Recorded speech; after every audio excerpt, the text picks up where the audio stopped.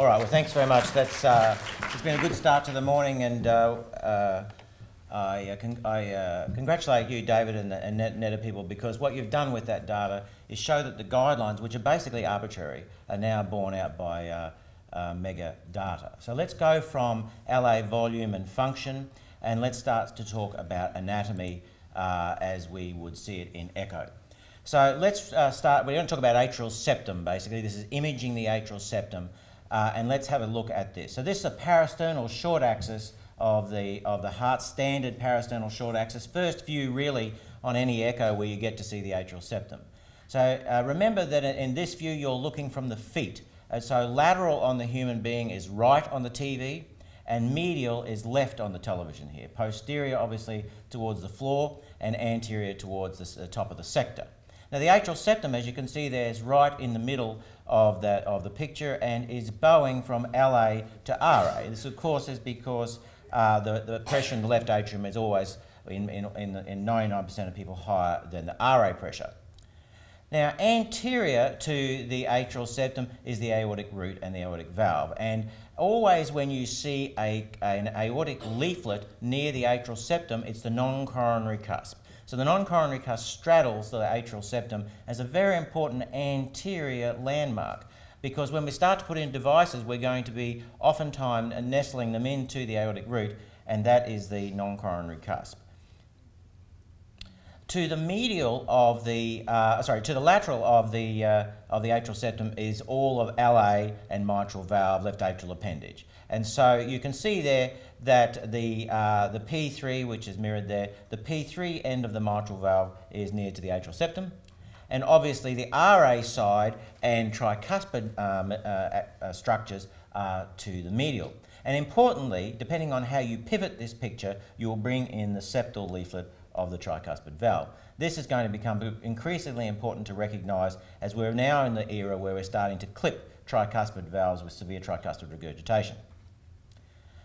Now, when we do 3D uh, transesophageal, uh, the surgeon's eye view where all the clips and, and other procedures are done from above, uh, this imaging is left to right inverted. And so medial now is on the right of the TV, and you can see there, again, the right heart structures, tricuspid valve, particularly the septal leaflet, uh, is on the right of the TV there and to the medial.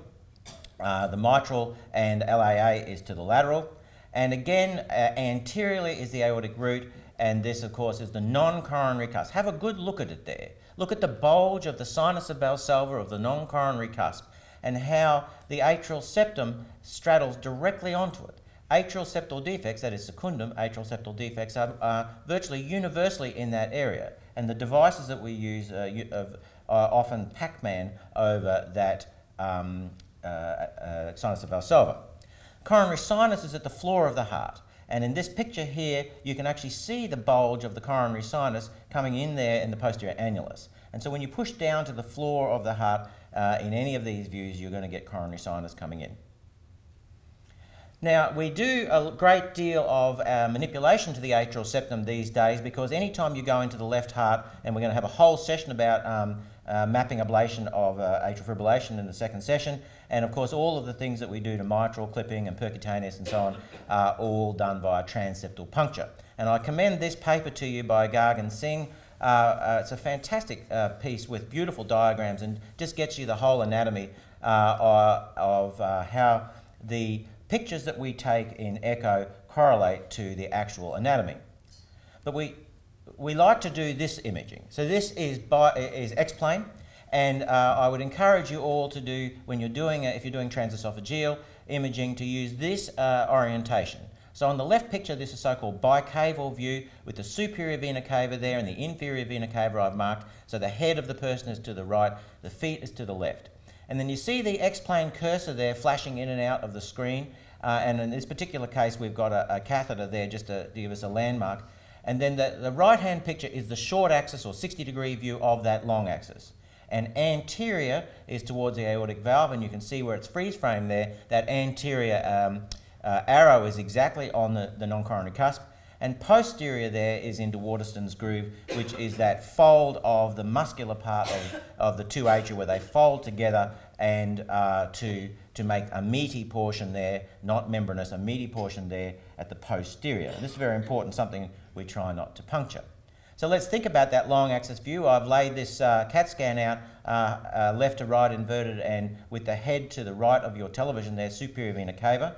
And so uh, this is standing looking from the right axilla and in a vertical view. This is actually where the, the, the long axis view and transesophageal is taken from. And this is very important because in all of these procedures, when we're imaging the atrial septum, uh, where we want to get into, uh, into LA for um, uh, procedures and ablations and so on, we use this Brockenbrough catheter and drag it down and make a puncture hole there through. Now that's uh, free space when you look at it in that direction. As you do that, you push the toe probe in because you track uh, vertically in the human being, uh, you track how you are moving that uh, catheter with respect to the atrial septum. But in the short axis view, the 60 degree view, uh, the, the, this is a view almost orthogonal to that long axis. These catheters are rotated uh, counterclockwise and clockwise there to move anterior and posterior, with the idea being that you want to be right in the middle of that atrial septum. So that's the, that's the, the, the, the transesophageal. What about the transthoracic echo? So when you see uh, transthoracic echoes and you're thinking about atrial septums, you're almost always trying to ask yourself uh, or answer the question, is there atrial septal defect? So before you even get to see the atrial septum in transthoracic echo, you get this hint on the very first shot, top left, pic uh, left picture there. This very, at the very first shot, you see a fulsome looking uh, right ventricle. And when you see that, you say to yourself, gee whiz, that's a big right heart, it must have more blood going through it. And you look at the picture here in a four chamber view, slightly off axis there, a big right atrium, a big right ventricle. But here's the trap. Um, when you, when you uh, look at regular apical four chamber view uh, of of, of, a heart here and put the colour flow on, you can miss a world of atrial septal defect flow because it's coming past you, not towards you. And so we encourage ourselves to get some sort of off-axis view to try and make the, the jet of any atrial septal shunting flow directly towards you. Because as many an atrial septum defect that's been sent home with a misdiagnosis, and I've done this myself, because the colour just doesn't cut it. So we, need, we, had, we developed some rules to help us understand whether or, somebody, whether or not somebody has got an atrial septal defect that pictures aren't running, based on even without you seeing. And it's a bit like what David's doing where he's been looking at metadata to see if there's something in a, in, a, in a scan which can tell you whether you've got a problem, even if you can't see the problem. And we developed this thing a long time ago, the Relative Atrial Index, or RAI. And we, we had a look at a whole bunch of uh, normal population, thousands, and people who are match controls for ASD people, and we measured the ratio of RA area to LA area. So you and me, our RA area probably 15 square centimetres, our LA area probably say 20 square centimetres, let's say. And so a normal folk might have a, relative atrial index of the area, one divided by the other, of about 0.75 or 0.8. And if you look on the, on the graphs there, we, we, found that in very large population. And Dave, we should have a look at that on NEDA now that I think about it. Um, but then we took 230 people, give or take, who had large atrial septal defects, and look at them. They had RAIs areas 24 to say 14 on this one. In fact, their, their left atriums are pretty small be, uh, because uh, they're, they're, dwarfed. And so they had an, a ratio well above, in this particular case, 1.7. And we found that it was almost 100% predictive. That is, if you're above, if your RA is bigger than your LA, the ratio is more than one, there was a very high chance you had a shunt or something else wrong with you. I.e., if you see a right atrium bigger than a left atrium, you can't send them home without a good explanation. And interestingly, when we uh, looked at these and we closed their ASDs, almost the next day they returned back to normal. That was a fascinating recovery. So let's have a look at some anatomy now of uh, the, the atrial septum uh, from the 3D views. So you can look at these ASDs uh, from the RA side, superior vena cava and inferior vena cava. I like to orientate these in the vertical view uh, so that you're looking through the hole obviously there tricuspid valve slightly to the anterior. Looking at it with the aorta superimposed, there's the bulge of the aortic root pushing in to the, uh, into the, uh, uh, to the anterior portion of the defect, and as I said, the non-coronary sinus of Valsalva pushing in. We, we describe margins, the SVC margin, the IVC margin, the tricuspid margin, aortic margin, and so on just descriptively so we can talk about how, how, how these devices that we put in may be able to be deployed. We looked in the workshop this morning at, at flipping this over and looking from the LA view. I think we should encourage ourselves when we take LA views uh, of atrial septal defects always to have some aortic root in the picture. The aortic leaflets are easy to see on 3D and they are your landmark. I encourage you to put the aortic root uh, to the 10 o'clock and this is the right upper pulmonary vein here. Quite a wide funnel looking mouth type uh, to the pulmonary vein. Right upper pulmonary vein and descending aorta in this picture, mitral valve there. When we're doing imaging of, of the, these defects from the transesophageal, everybody usually starts in a four-chamber view. Note how the right heart is bigger than the left heart, and you can see here uh, the, the defect uh, and um, push, pulling up with the probe. As, as you can see on the, on the index marker there, you can start to see aortic root coming in. But what people tend to focus on is this short axis view. And in this view here, as, as you can see on the index there, you've got this very small margin here the septal margin of the defect, and this is the make or break of whether you can put a closure device in. You need to have a few millimetres of margin there for the device to grab on. Obviously high volume shunting through. The bicaval view uh, allows us to give a, a, superior to inferior dimension with a lot of blood going through, and we make all those measurements as we said before. But uh, secundum atrial septal defects are not the only ones. They are 75%, and probably in our world, way more than 75% in the adult uh, non-adult congenital heart disease practice, um, and uh, associated in some folks with mitral valve prolapse. Primum defects tend to be in the, see that in the pediatric cohort, endocardial cushion defect. We see a few of these slip through to adulthood, and the rarer ones, sinus venosus and the coronary sinus defects. I thought we'd just have a quick look at some of the rarer ones. Sinus venosus atrial septal defects give huge shunts. The biggest right hearts you'll ever see are on the sinus venosus uh, ASDs. And in this view, I've turned the diagram on the side there so you can see you've got superior vena cava basically straddling what is the roof of the heart uh, in, with the atrial septum hanging in free space there, and a, a large volume shunting going through a defect there, almost sharing the complete return flow. The right upper, oh, sorry, this is the defect is right up in the roof of the heart, and so when you pull the probe out, that's when you see the defect the best, as opposed to the secundums, which are usually associated there with the aortic root. The right upper pulmonary vein often is anomalous and gives this teardrop shape as it, as it leads into the superior vena cava. Now, primum ASDs are the far other end of the septum. They're the floor of the septum where the cushion uh, meets the uh, junction of the uh, mitral, tricuspid, and ventricular septums. And so typically we, see, we don't see a lot of this in, in adult non-congenital heart world, but they also have massive shunts with huge right atria. You can see that there's virtually complete absence of the, of the floor of the heart, and in four-chamber view, almost total sharing of the blood flow. Very large shunting, very large defects. In transesophageal echo, you can see there that the membrane, the secundum membrane, the thin membrane, is uh, uh, not distorted, distorted at all, but there's a complete absence of the, of the fibrous or cushion part of the heart uh, which should be attached to. These are often associated with cleft anterior mitral leaflets. So let's go on now and have a look at, sorry, that's a duplicate, let me just move forward. So let's have a look at closing ASDs, because mostly in, in our adult non-congenital heart world, we're talking about secundum ASDs and closing them. Now, in the day, before all the devices came about, the, the, the, most preferred operation for heart surgeons was closing an ASD. And they did this either by sewing it closed uh, in its own right with no patch, or sewing in a piece of cow pericardium uh, to close the defect in a circular-like manner. And that's a very good operation with a very low mortality and can actually be done from the right uh, right chest, right thoracotomy, without even having to crack the chest open.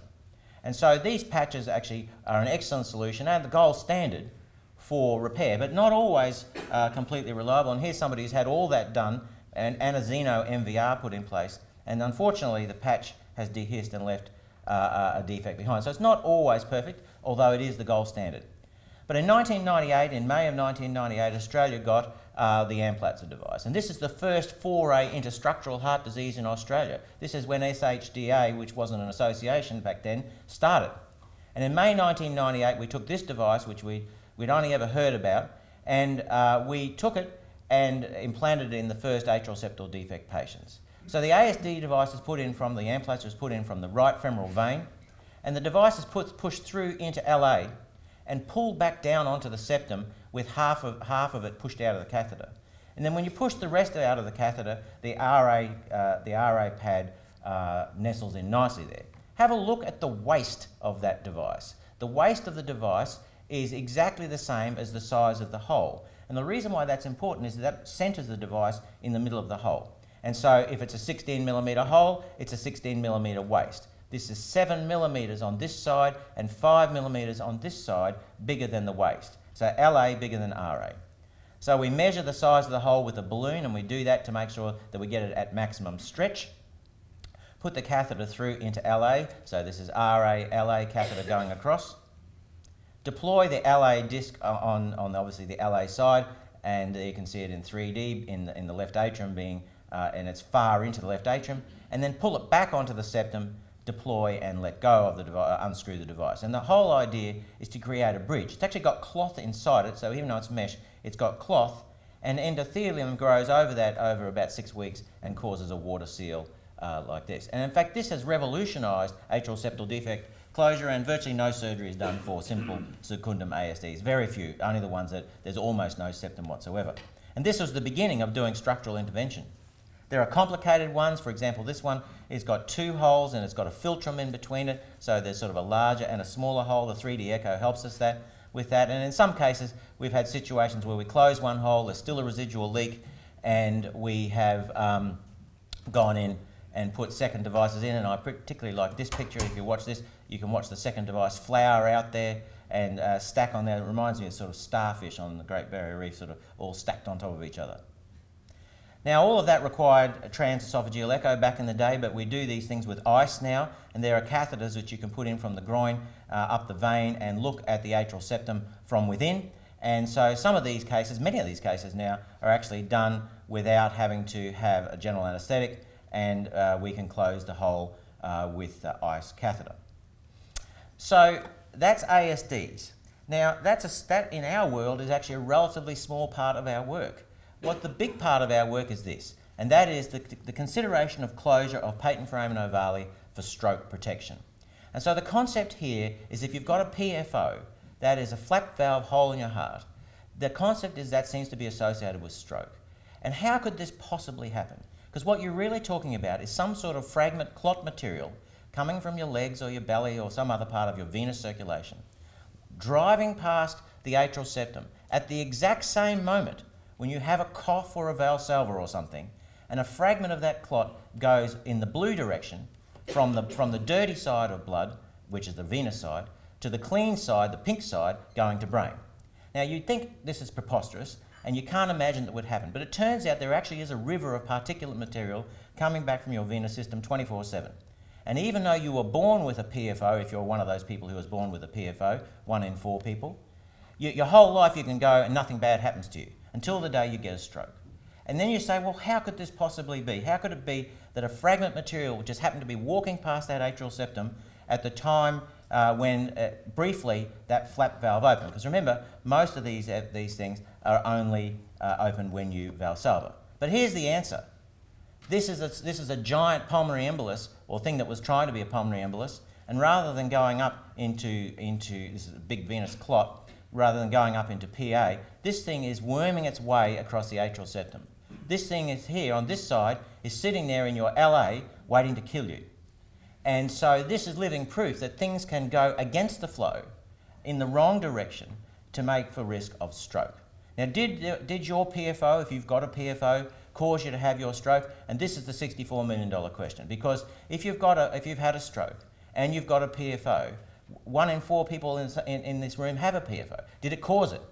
And what we tend to think is if you're younger, if you don't have AF, and you've got no other good reason to get a stroke, then probably the PFO was guilty of the crime. And if you're older or if you've had AF, there are plenty of other things that could be guilty, and we probably wouldn't be closing it.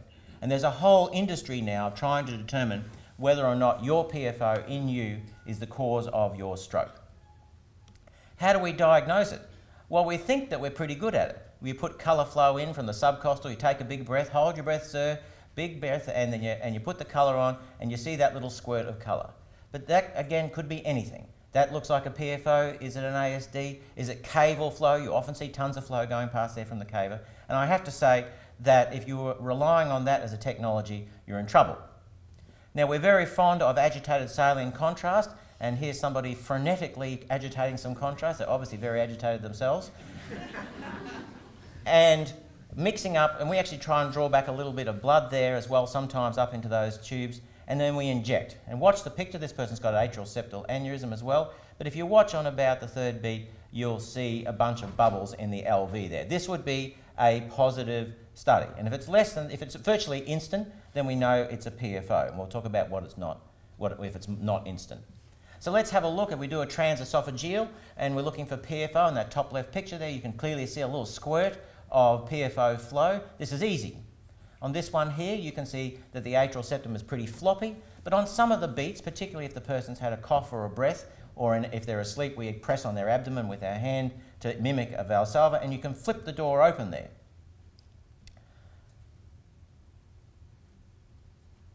We then give agitated saline contrast and uh, again push the, push the bubbles in and sometimes just just with free breathing, you'll see bubbles go across, but sometimes you have to either cause a valsalva or, or tell the person to valsalva. And clearly, if you can see bubbles going across, then you could have clot going across.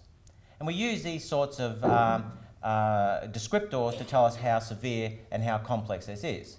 Just a brief sidetrack about atrial septal aneurysm. These are huge, bulging um, uh, redundancies of the atrial septum, which sometimes are and sometimes are not associated with shunting and PFO.